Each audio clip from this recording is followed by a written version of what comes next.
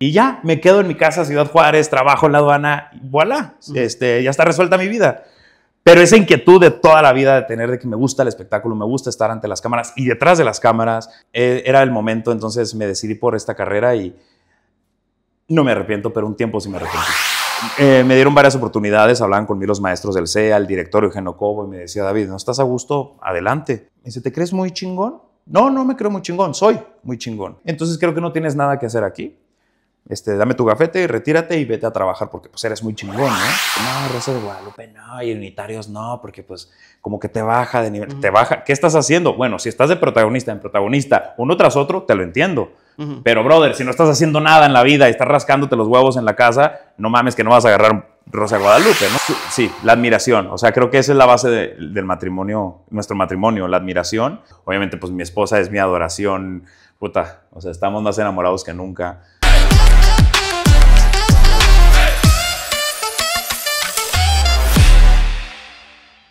¿Qué tal? Bueno, pues iniciamos un capítulo más, un episodio más aquí de Famoso sin Censura. Y el día de hoy, ahora sí que me encuentro engalanado con la presencia de un paisano originario de Ciudad Juárez, Chihuahua. Así que vamos a hablar con este actor y compartir experiencias y todo lo que ha sido su trayecto desde Ciudad Juárez hasta la Ciudad de México y cada uno de esos proyectos, novelas y programas en los cuales ha estado. Así que le doy la más cordial bienvenida a David Anguiano. David, doy la más cordial. Encantado de estar aquí en Famosos sin Censura. Oye, qué bonita presentación. Gracias.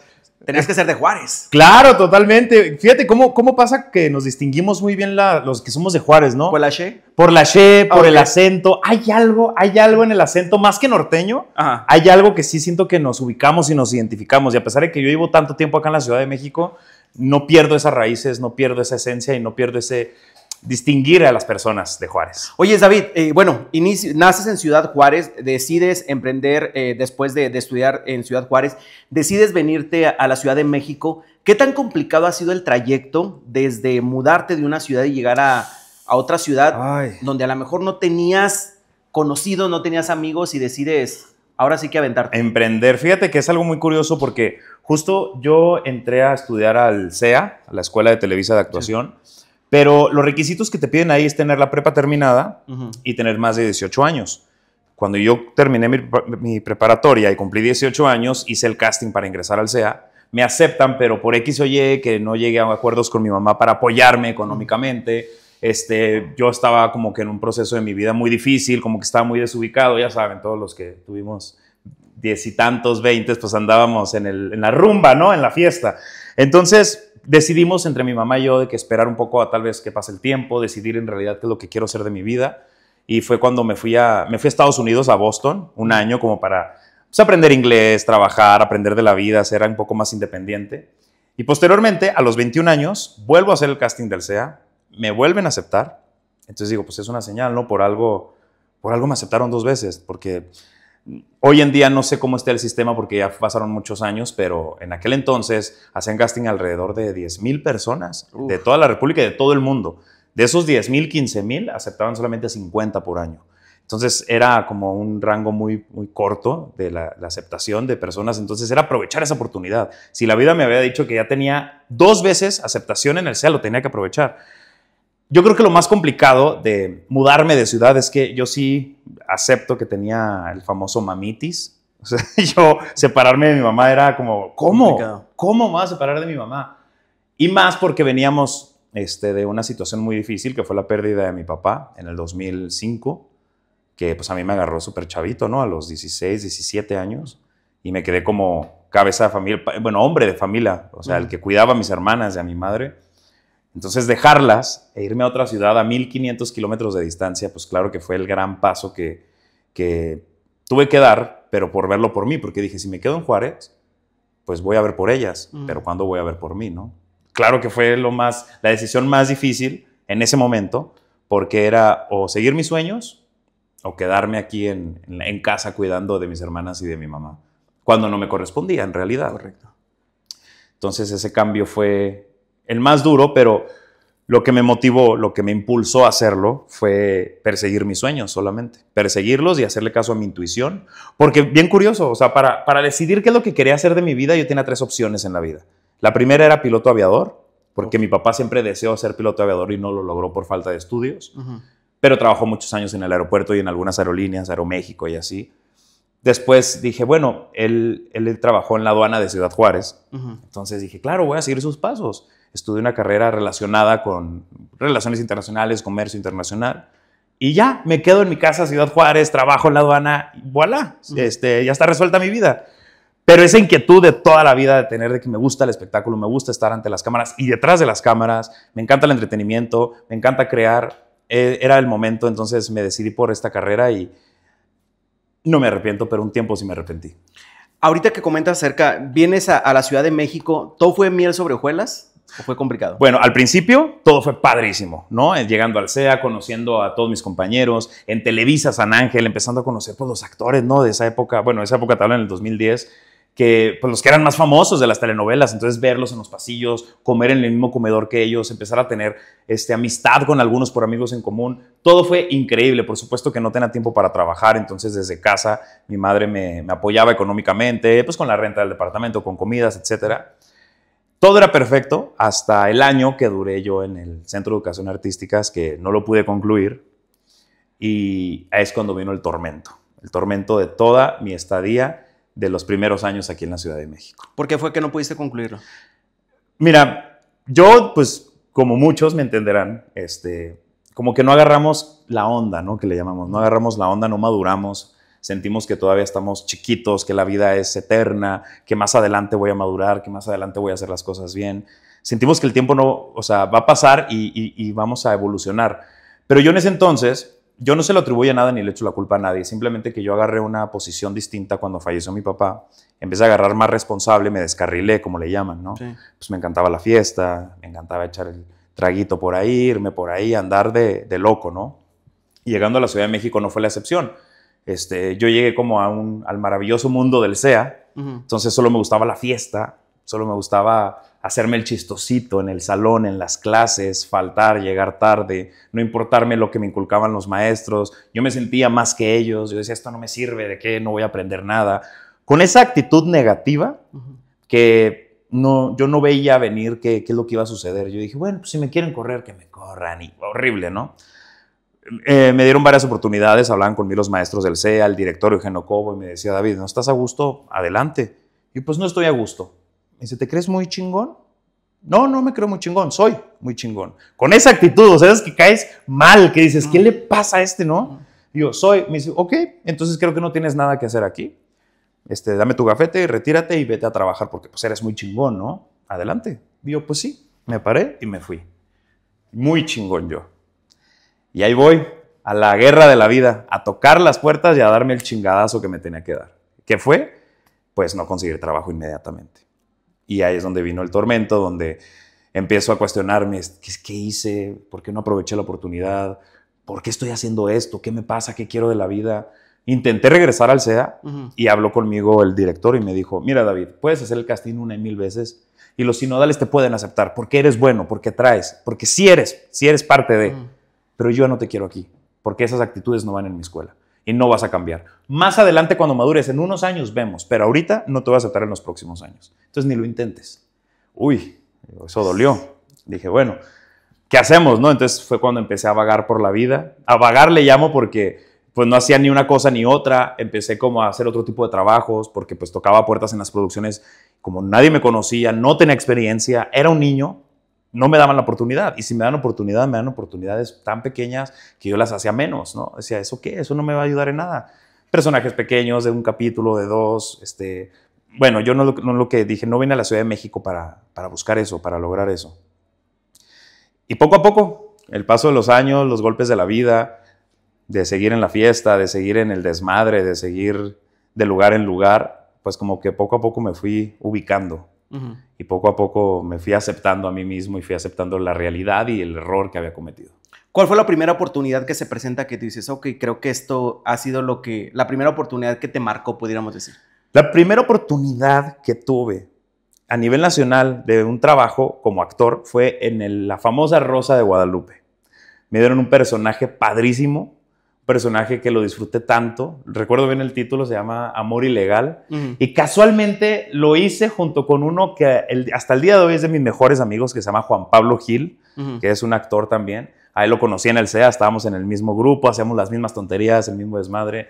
Eh, nos fuimos del CEA al mismo tiempo, casi que todo iguales, éramos roomies de que vivíamos juntos. Y casualmente nos dan eh, la misma, el mismo capítulo de La Rosa de Guadalupe, él como protagonista y yo como antagonista. Y a partir de ahí yo creo que ese fue un, no le puedo llamar parte de aguas, pero el punto de inicio de mi carrera como actor responsable.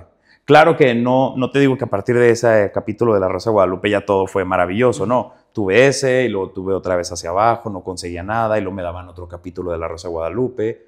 Después de ahí brinqué a, como dice el dicho, que era un poco más reciente.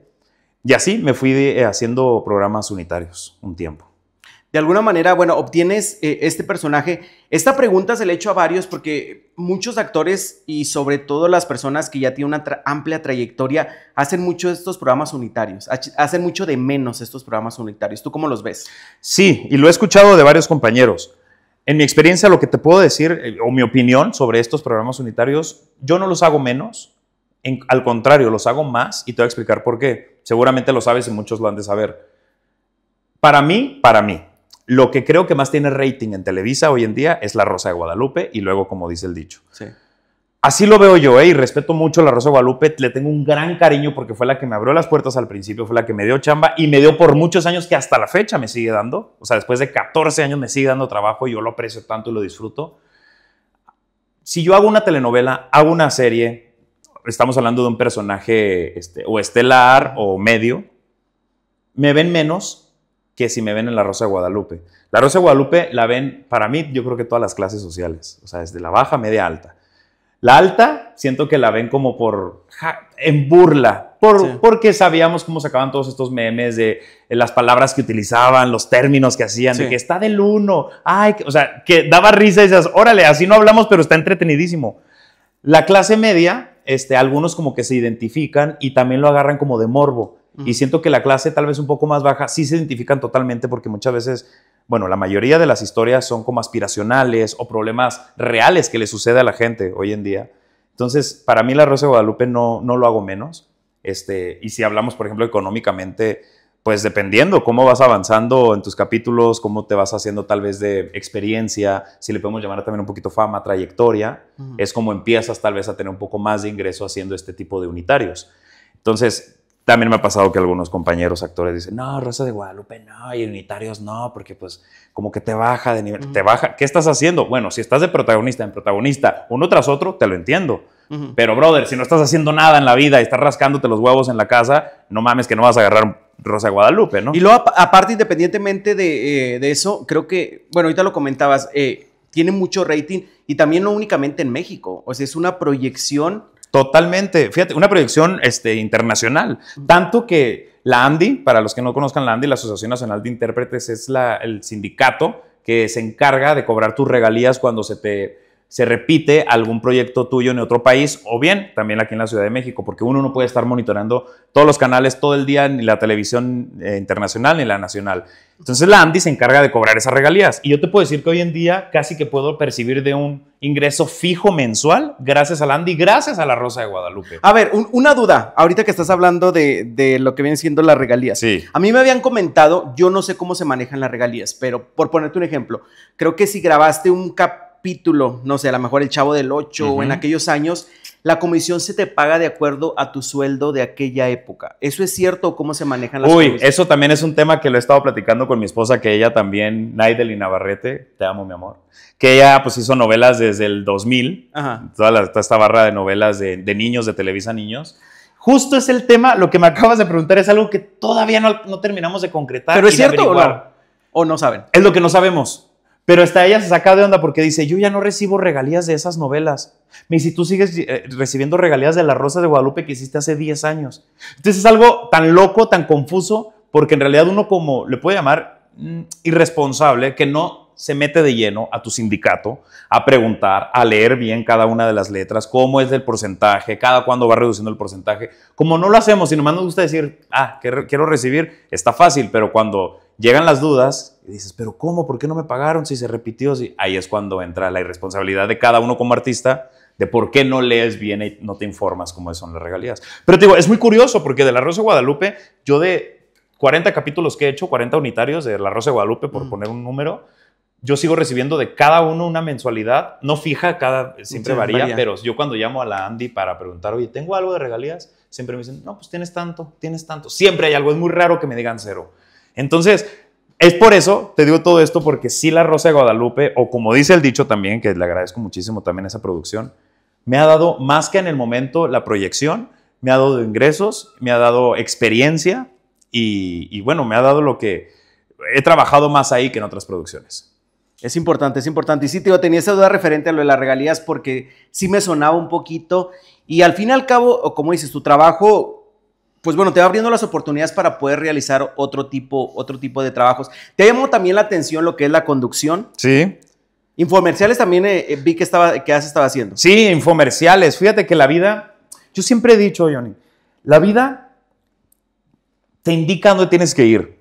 Por supuesto que mi sueño, mi vocación, mi pasión es la actuación. Yo llegué a la Ciudad de México para ser actor. Como muchos, como miles, miles que, llegamos a la Ciudad de México a eso, ¿no? No soy el único, somos miles, me atrevo a decir miles porque somos muchos, para ser actores, para, para trabajar en películas, en series, en telenovelas, en todo esto. Pero creo que la vida te tiene, te tiene listo algo para ti. Tú, tú puedes decirle algo a la vida, no, yo quiero ser esto, pero la vida o Dios en quien quieran creer te va a decir, no, tú vas para acá. Y como que tienes que ir con la corriente, no contra la corriente. Y eso lo acabo de aprender hace poco, porque yo siempre iba contra la corriente. A mí siempre me gusta ir en contra de todos. Con la madurez, ahora que soy padre, he, aprendido a, fluir, pero la vida me ha brillado mucho a, a, conducir y creo que se me da. Creo que me siento más yo, creo que me siento más, como dicen, como pez en el agua.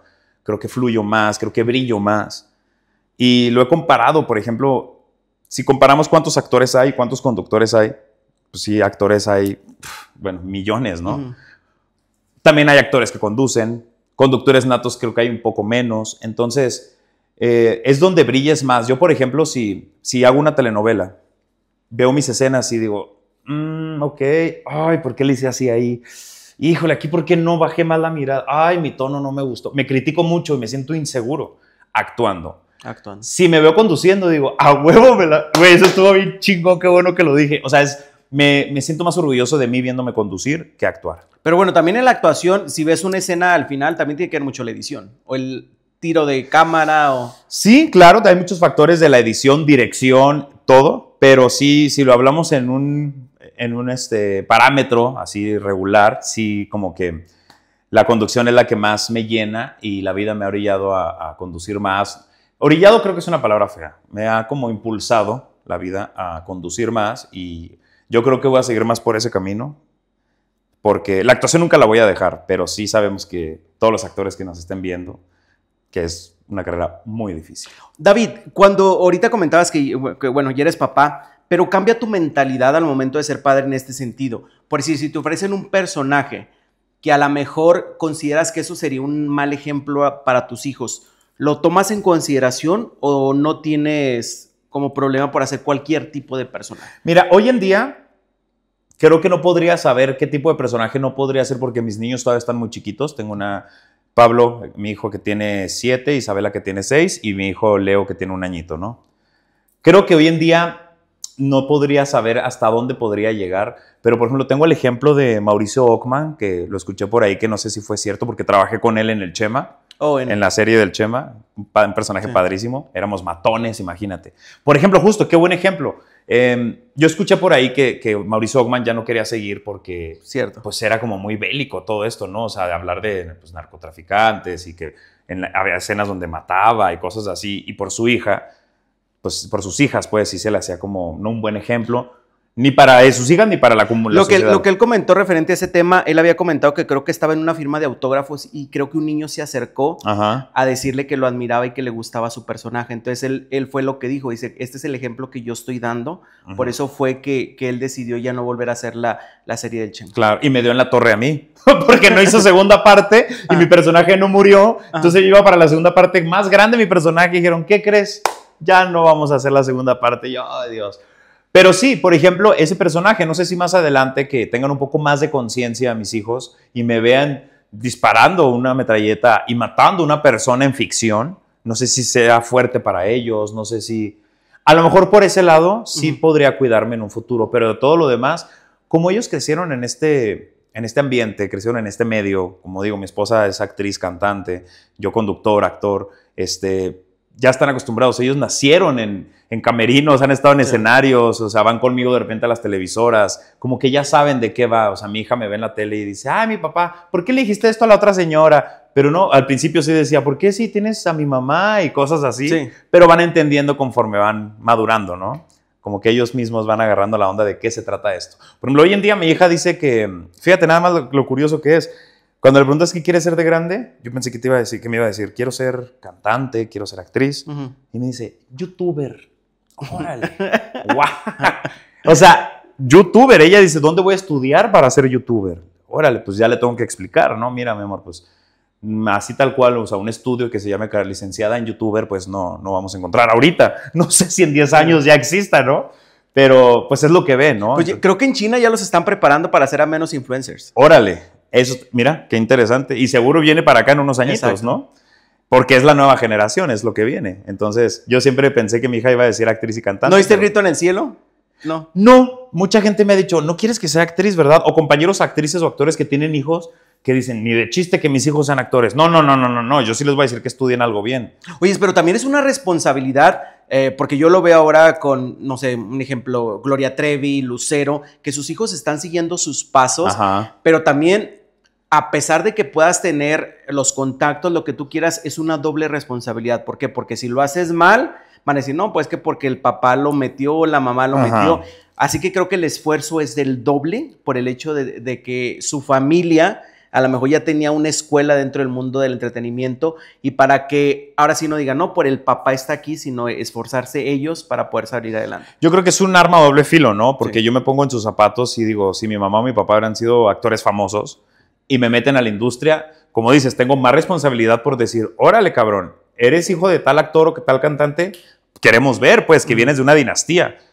Como dices, si lo haces bien, dicen, claro, pues es que viene, su papá es así. Lo haces mal, dicen, ¿cómo? Si es el hijo de tal. O sea, juzgado siempre vas a ser. Y sí creo que es más complicado. Muchos compañeros me han dicho, güey, pues es que qué fácil, pues su papá es tal actor, lo metió, eh, su papá es tal, lo metió. Pues sí, güey, pero, ok, lo metió, pero ahora que se mantenga, ¿no? Porque son pocos los hijos que han superado a los papás, digo, hay tantos ejemplos, tanto de actores como de, cantantes, no sé. Yo, un claro ejemplo que tengo ahorita de un hijo de un famoso cantante, por ejemplo, que no le llegó, pero sí se supo defender, fue entre Vicente y Alejandro. Correcto. O sea, sí, pero ahora yo lo que veo, no, o sea, no es crítica, pero de Alejandro Fernández a Alex Fernández, ahí la veo muy complicado. No sé a qué se deba, ¿no? Si es la actualidad, si es el tipo de música, no sé, mil factores. Pero es, son pocas las dinastías o los hijos de famosos que, que sí llegan a un nivel importante como los papás. Entonces yo creo que es un arma doble filo y qué difícil. Acá en mi caso, yo lo que haría con mis hijos sería eh, ayudarles a hacer lo que yo no pude hacer abrirles las puertas que yo no pude abrir o que yo tuve que tocar. ¿Te gustaría que ellos sufrieran lo que tú sufriste? No, pero que ellos se, enfrentaran a lo que yo debía haberme enfrentado. Es decir, las puertas yo me las abrí solito, ¿no? Solito porque ni mi mamá se dedica a esto, ni mi papá, ni mi tía, ni mi... Nadie. Yo estoy solo en este medio y en esta ciudad. Poco a poco lo fui, fui abriendo las puertas y los caminos. Entonces, si yo ya hice ese trabajo difícil, le quiero inculcar a mis hijos, miren, es por acá, es por acá, no para hacerlos unos inútiles, ni no para no hacérselas difícil, simplemente para que no cometan tantos errores y no pierdan el tiempo que yo perdí, que tal vez hoy en día podría estar haciendo otro tipo de cosas. Que no se sabe, ¿no? La vida, la vida es el, efecto mariposa, o sea, también, aunque se me hubieran abierto otras oportunidades, quién sabe qué estará haciendo hoy en día. Entonces yo creo que estamos en el punto preciso y en el lugar correcto. ¿Te arrepientes de a lo mejor no haber aprovechado esta oportunidad en, en el SEA? O sea, a lo mejor que como ahorita comenta, estarías en otro lugar?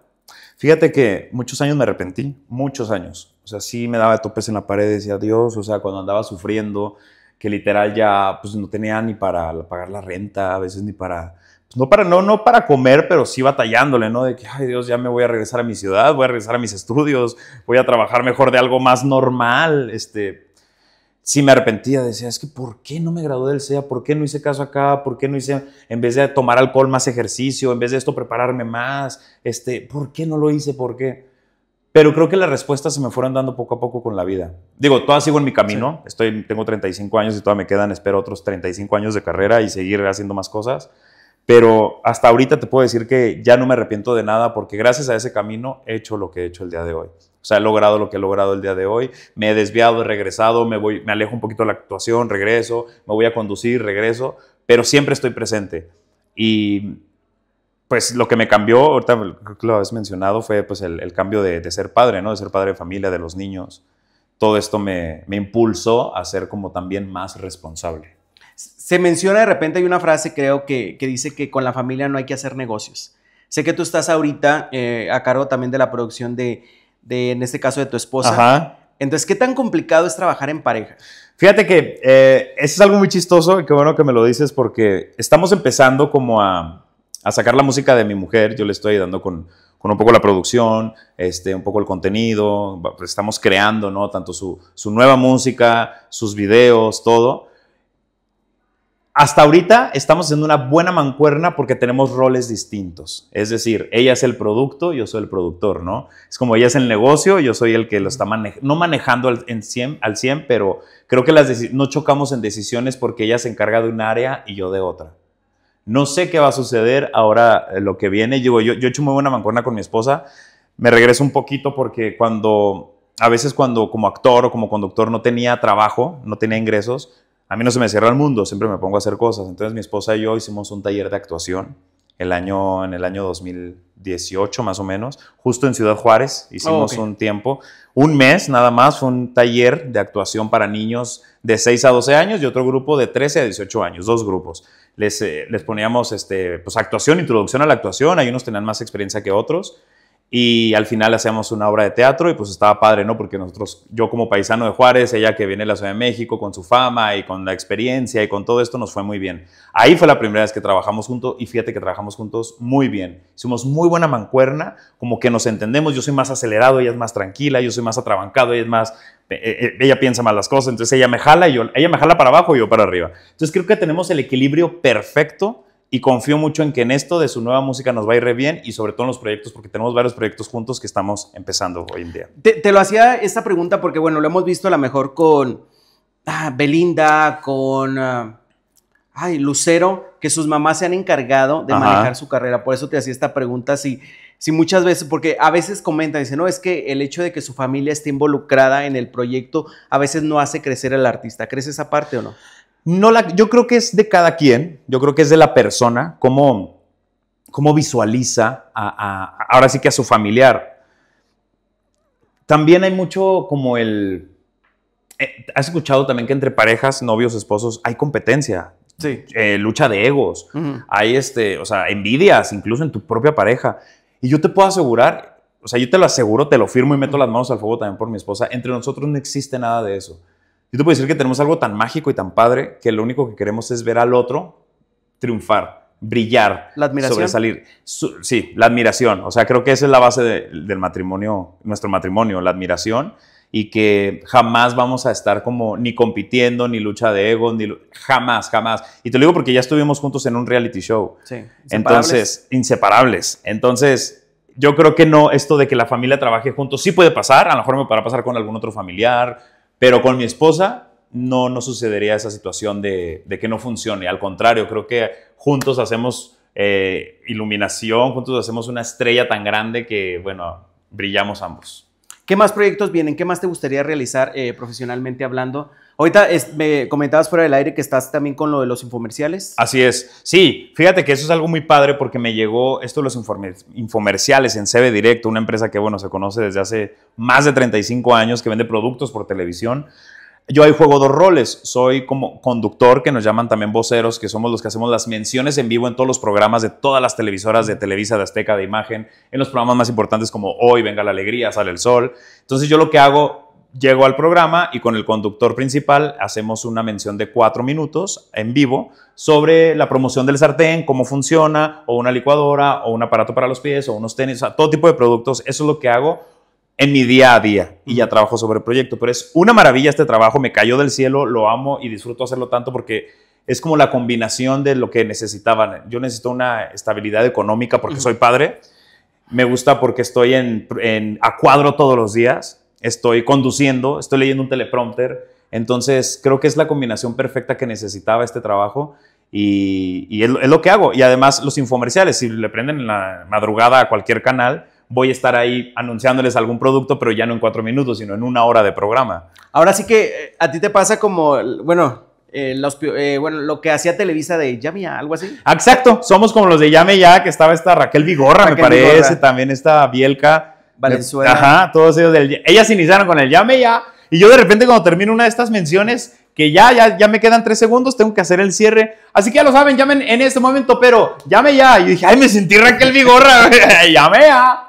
Padrísimo, sí, justo es eso, tal cual. Y fíjate, me, me estaban comentando porque tuve la oportunidad de platicar con quién fue. Ay, Dios mío.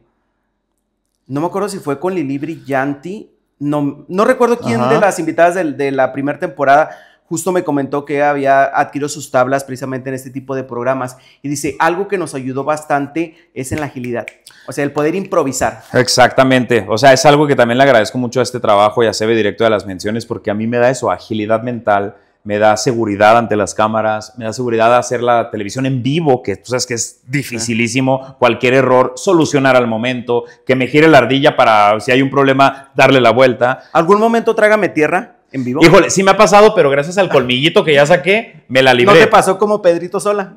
No, no me he confundido de nombre. Lo que sí me ha pasado es que muchas veces, no que nuestros productos, le llamo nuestros porque sigo siendo parte de esa empresa y espero por muchos años ser parte de CB Directo, algunos productos, de tanto utilizarlos, pues empiezan a, a, fallar, ¿no? Por ejemplo, te voy a poner un ejemplo de una batería que tenemos por ahí, ni recuerdo el nombre el mango se empezó a aflojar un poquito, pero de tanto uso, no de cocina, sino de que súbelo, bájalo, llévalo para acá, entonces empiezan a dañar. No es un uso que se le tiene que dar a un sartén, ¿no? Uh -huh. Pero bueno, entonces yo tenía que hacer una prueba como de chocar el sartén y que se, se rompiera el convencional contra el de nosotros.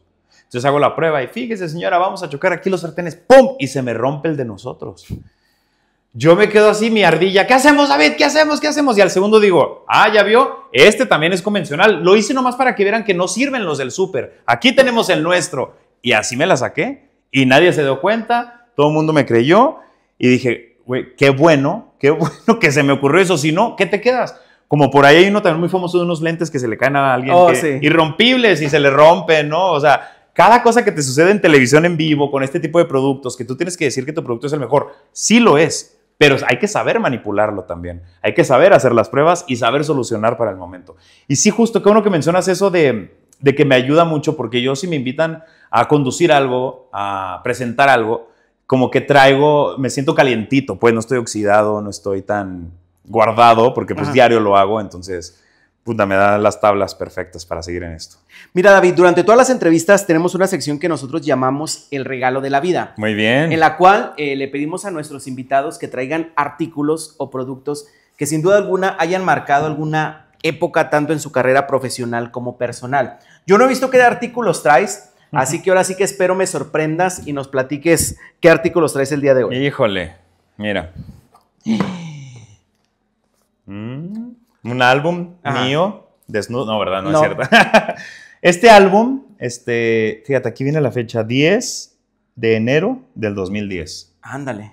Este fue el día que yo llegué a, no, que yo tomé el vuelo de Ciudad Juárez a Ciudad de México, porque el siguiente día de este día, es decir, el 11 de enero del 2010, yo llegaba a mi primer día del CEA. Y este álbum, ah, mira que estoy de chiquito, me lo dio mi mamá y mis hermanas como para pues desearme buena suerte, que fuera mi amuleto. Lo va a pasar así rápido. Aquí estoy yo de chiquito, aquí estoy con mi hermana mayor, aquí estoy yo solo. Entonces cada uno, cada una de las fotos tiene su frase. Su frase, lindo pescadito, mi mamá, porque ya sabes, haciéndose la chistosa, galancillo desde chiquillo y yo en poses así muy... Pero al final de todas estas fotos y de todo lo que me pusieron, ponen una foto muy peculiar. Ándale, mira, yo cómo usaba mi look ahí en Ciudad Juárez. Muy juarense, muy juarense, todos me entenderán. me ponen esta foto tan peculiar que es de mi mamá, mi abuela y mi papá, ambos que pues ya no están aquí. y me lo pone mi mamá Mis Ángeles. Entonces imagínense cuando agarré este álbum y lo leí en el, en el avión, no, bueno, yo estaba hecho un mar de lágrimas, este, estaba a punto de regresarme y decir, paren ese avión, por favor, ya no me voy. Pero fíjate que este álbum, ah, y cartas de mi mamá y de mis dos hermanas, deseándome pues éxito, buena suerte, que me cuide, que no me preocupe por nada. Y bueno, ya te imaginarás todo lo que dicen estas cartas, o sea, de tus hermanas, de tu madre.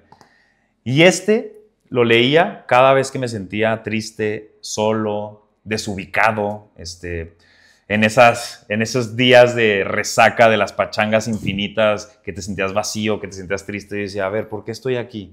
Agarraba esto, lo leía, veía las fotos, lloraba horas, y decía, claro, ya lo entendí, y lo volví a guardar. Entonces este álbum para mí, este, creo que significa todo mi cambio de, de ciudad, todo mi cambio de carrera, cambio de vida, cambio de todo.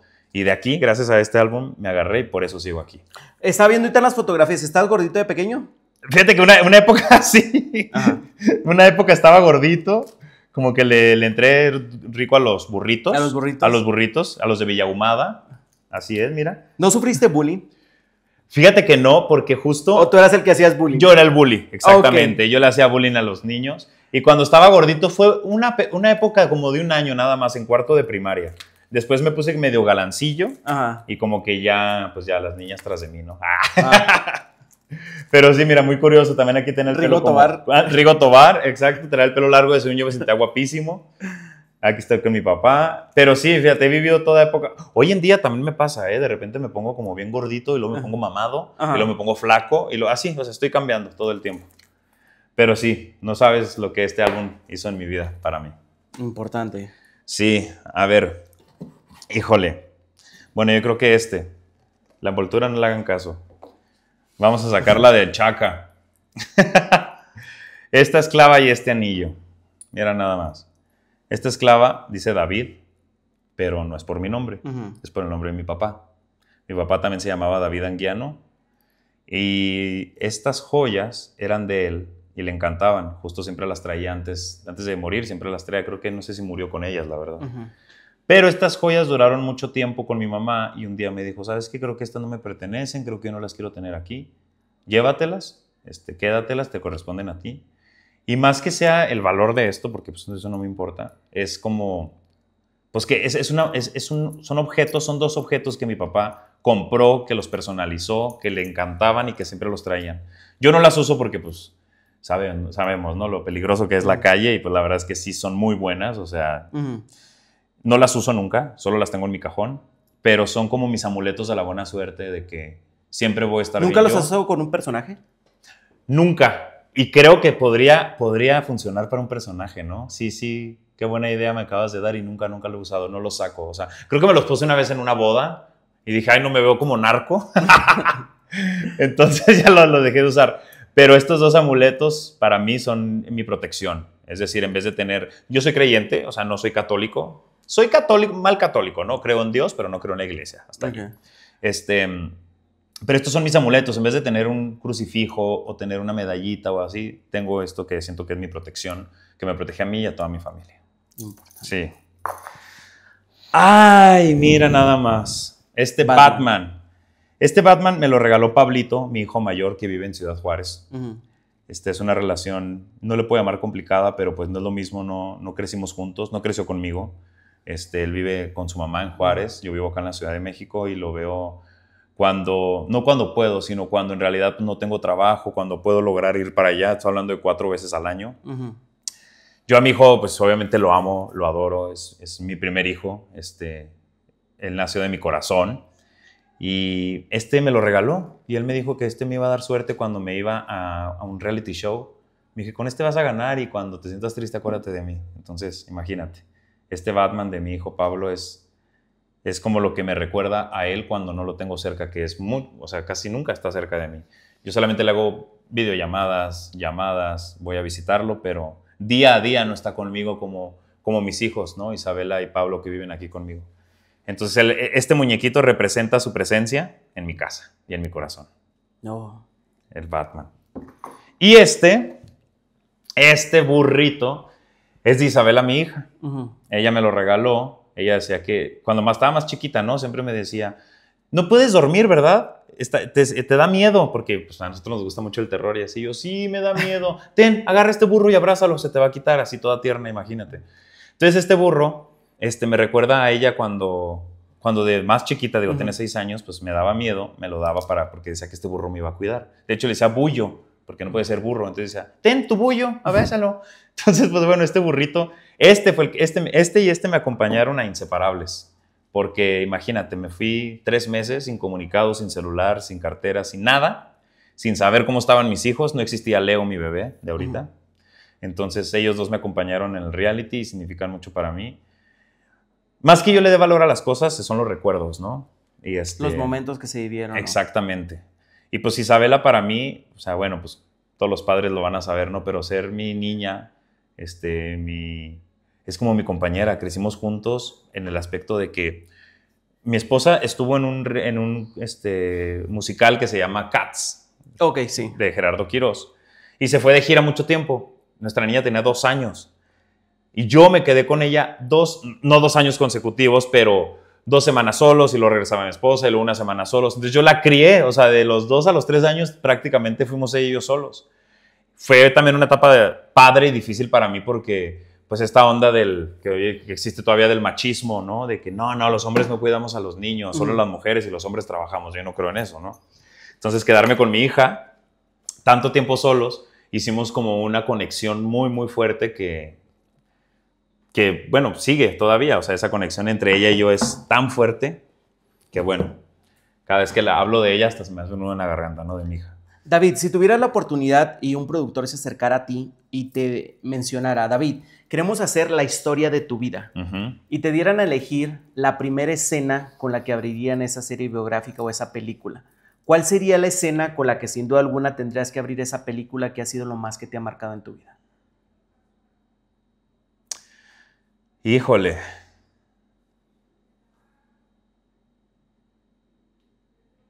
Yo creo que para hacer un teaser de lo que van a ver en mi serie. Ay, Dios, tengo tantos momentos, Dios. Pero es que también te podrá decir la unión con mi esposa. Por ejemplo, este anillo, pues es el anillo de, de bodas. Ajá. Me casé en Tuxpan, Veracruz, en el 2019. Claro que mi boda fue encantadora, padrísima. Este, todos se la pasaron re bien, se pusieron hasta su madre de pedos. O sea, todos se la pasaron re bien en mi boda. Pero no creo que ahí fue el momento mágico donde nos unimos, porque mi esposa y yo nos unimos desde mucho antes, ¿no? Yo creo que fue, yo creo que podríamos abrir en el momento en el que me dice mi mujer que está embarazada de Isabela. Porque mi reacción fue. Me gustaría que un día se los platique ya cómo fue mi reacción. Pero fue épica. Fue épica y ese sí fue como el parteaguas de mi vida. de como le dicen los, los papás, como si yo no fuera, ¿no? Agarrar la onda. Agarra la onda ya. Entonces yo creo que si hicieran la historia de mi vida y tuviéramos que poner un teaser de un adelanto de qué es lo que van a ver en toda la serie, es el cambio cuando ella me dice, pues sí, sí estoy embarazada. ¡Pum! Y caen en mí, ¿no? Entre felicidad, confusión, miedo, ah, todas las emociones juntas, en, resumidas en mi cara y en mi expresión. Yo creo que sería esa. Así que una, una- una historia de, de amor pudiera... Sí, claro, una historia de amor, totalmente. No, es que yo, yo soy amor, Ajá. soy amor totalmente. Tengo un carácter fuerte.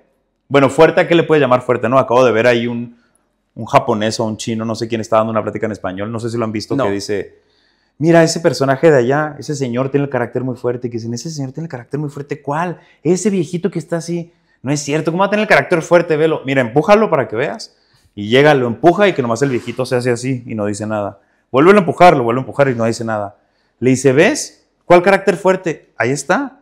Controla su temperamento, tiene un carácter fuerte. Las personas que dicen de carácter fuerte no vas a ver al típico "Ah, enojado gritándole a todos. y, "Ah". Eso no es un carácter fuerte, es un carácter débil porque no controlan su temperamento. Qué interesante, ¿no? O sea, No lo había visto de esa manera, pero es cierto. Entonces ya no sé ni qué decirte si soy de carácter fuerte o no. pero no, tal vez soy de carácter débil. No sé, no sé cómo lo, quieran ver, cómo lo quieran descifrar, pero, pero sí, o sea, siempre, la historia de mi vida siempre ha sido amor, o sea, sí soy, no te puedo decir enamoradizo respecto a parejas, pero sí me enamoro de las personas eh, en todo, de compañeros de trabajo. Obviamente, pues mi esposa es mi adoración, puta, o sea, estamos más enamorados que nunca, pues de mi madre, de mis hermanos. O sea, yo, yo sí me gusta como emanar amor, aunque no parezca, por mi manera de hacerlo. Así que, David, ¿qué más proyectos vienen? ¿Qué más tienes planeado además de todo lo que estuvimos hablando? Híjole, bueno, pues seguimos, seguiremos en las ventas, en los infomerciales. Este, vamos a empezar un programa nuevo, estarán, chequenlo ahí en mis redes sociales con mi esposa, justo, va a ser de parejas, entonces lo vamos a conducir mi esposa y yo, vamos a tener invitados, va a estar padrísimo, pronto les estaremos avisando. Y seguiremos con la música de mi mujer, yo la seguiré apoyando, seré como el esposo de Yuri, que está con ella siempre. y bueno, sí, este, hacemos muy buena mancuerna. Pero para ¿No este van a cambiar año- de religión? No vamos a cambiar de religión, seguiremos en el catolicismo. Ok.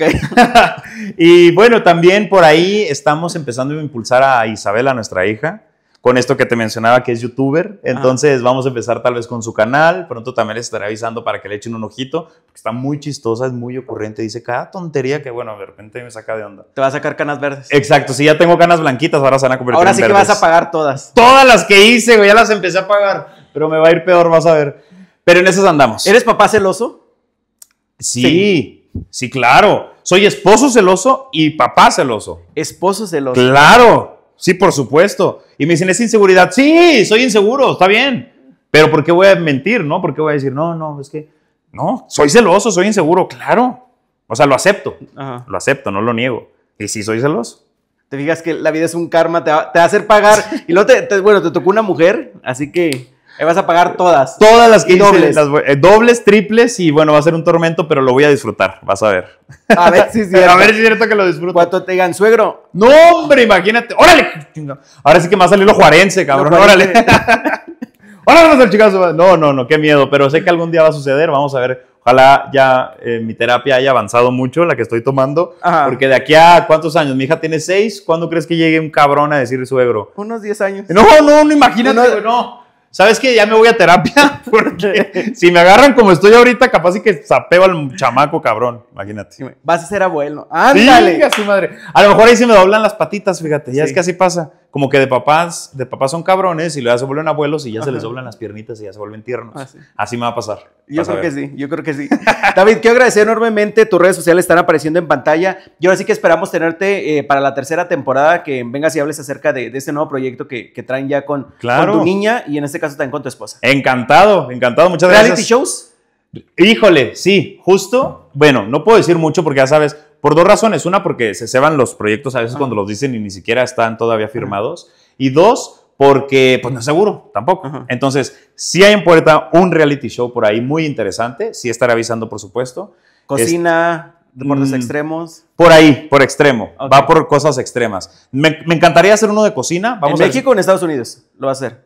Me parece que se filma, en se graba en Estados Unidos, pero se transmite acá.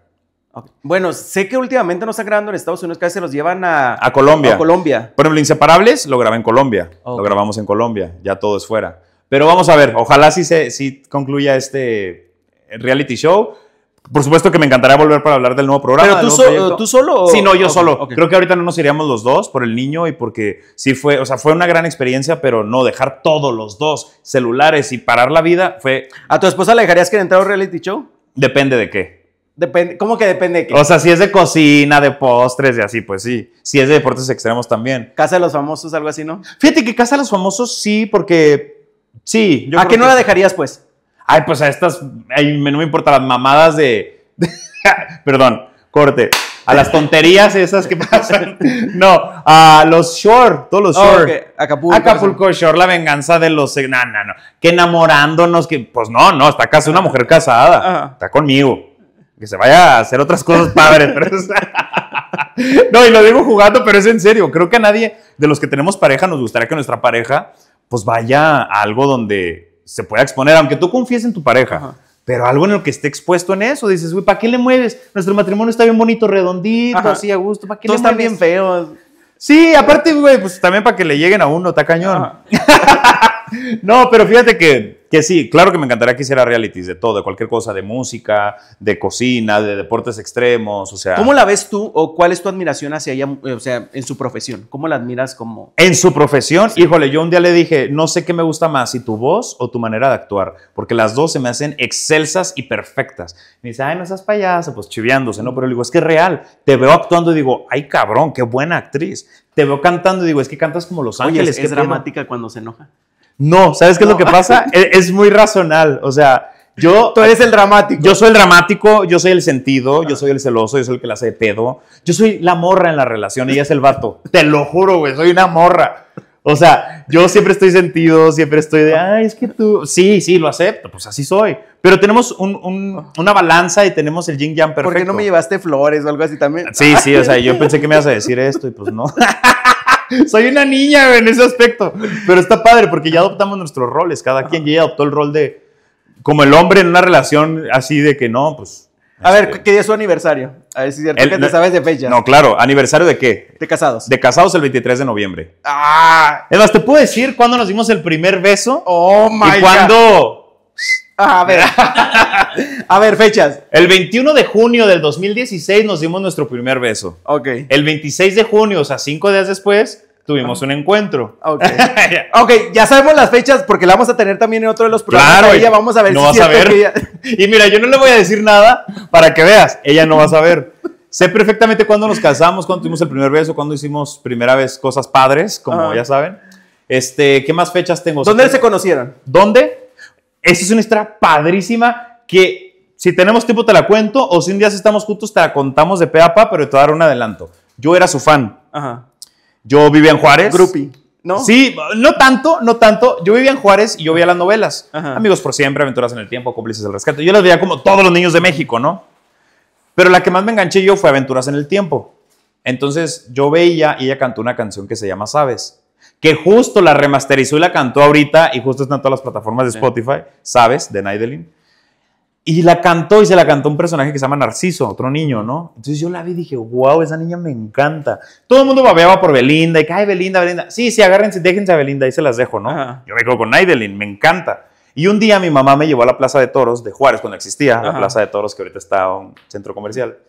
Y fui a verla y yo nomás le veía a ella, así el escenario, y digo, ay, qué bonita niña. Yo tenía 12 años y ella 13. Es un año mayor que yo, Ajá. perdóname, mi amor. Se aprovechó de ti. Se aprovechó de me agarró chavito, oye, Ajá. pues qué onda. Sí. Yo sí estoy inocente chiquito, pero bueno, a saltacunas, le Ajá, digo. me imagino. ¿Verdad? Entonces, pasaron los años y me la encuentro aquí en Televisa cuando vengo a lo del CEA y así. Y la conozco por amigos en común y yo, ¡Ah! sí es ella, no manches. O sea, qué diferente, yo ya estoy más alto que ella, ella está tan hermosa. Y así, amigos en común, amigos en común, amigos en común. Y nos saludábamos, siempre me gustaba, pero ella siempre tuvo novio. Y yo siempre le decía a mis amigos, güey, es que está hermosa, me encanta. Y me decían, güey, tiene novio. Y ya se va a casar, yo creo. Y yo, bueno, pues ya, lo de vuelta a la página. Y ya, nos topamos después en una obra de teatro y me dijo, ya no tengo novio. Le dije, ah, ya no. Venga, para acá. pues". y listo. Te la resumí, pero pasaron muchas cosas en todo eso. Así que la vamos a tener entrevista y le vamos a hacer las mismas preguntas. Órale, me encantaría y vamos a ver quién sí contestó bien y quién no. ¿Y Me quién encanta. mintió? ¿Y quién mintió? Exacto. David, muchísimas gracias. Redes No, sociales están hombre. apareciendo en pantalla. Y ahora sí que te deseamos el mejor de los éxitos. Gracias. Y ahora sí que llame ya. Llame ya, así que llame ya. Gracias a todos y gracias, gracias por, Muchísimas por la gracias. invitación. Y nosotros continuamos aquí en Famosos sin Censura.